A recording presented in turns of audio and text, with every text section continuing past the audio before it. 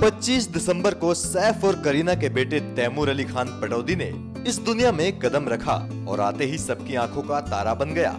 जन्म लेने के बाद कई दिनों तक तैमूर सोशल मीडिया पर छाया रहा और अब जल्द ही तैमूर एक और सरप्राइज़ देने के लिए तैयार है। खबर है कि तैमूर सैफ अली खान के शेफ बनने के सफ़र में भी उनके साथ रहेंगे। दरअसल, तैमूर के जन्म की वजह से सैफ अली खान ने शूटिंग से ब्रेक लिया हुआ है। सैफ इस वक्त जिस फ़िल्म की शूटिंग कर रहे हैं, वो है शेफ। फ़िल्म की शूटिंग लगभग पूरी हो चुकी है, लेकिन क्लाइमैक्स का शूट होना बाकी है। ब्रेक के बाद जनवरी में सैफ को फ़िल्म की शूटिंग पूरी करने के लिए यूरोप जाना है। लेकिन खबरों की माने तो सैफ फ़िलहाल करीना और तैमूर को छोड़कर कहीं नहीं जाना चाहते हैं। इसलिए सैफ ने फैसला किया है कि वो करीना और तैमूर को अपने साथ यूरोप लेकर जाएँगे और फ़िल्म की शूटिंग पूरी करेंगे।